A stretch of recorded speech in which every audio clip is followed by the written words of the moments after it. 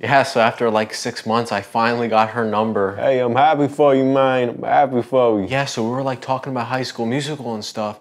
And I said I'd like I'd sing for her, and she said, "Oh, really?" And I said, "Yeah." So I'm gonna sing her a song. So what you gonna sing to her? So from High School Musical 2, it's it's I'm not the type of guy who needs what I say. Bet on it, bet on it, bet on it, bet on it, me. Mine is just it's just too soft.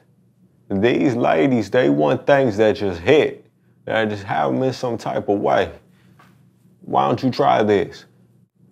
Shawty, I just wanna see you here right now. Oh yeah. Try that.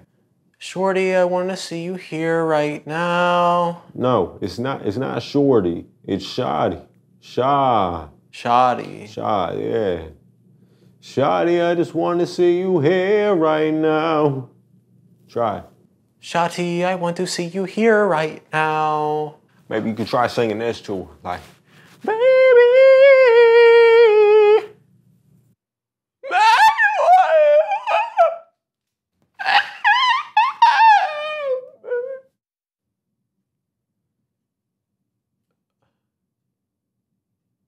This might not work out between you two, but if something happens, just let me know and I could fill in the play for you. You know what I'm saying? Uh, Yeah, I just lay out the playing field for you, you know? yeah, I, I guess I could give you her number if, if it doesn't work out, but just make sure you're kind to her. She's like really nice. Yeah, if you want to just slide me her number or something, you know what I'm saying? Yeah, I'll text you her number right now.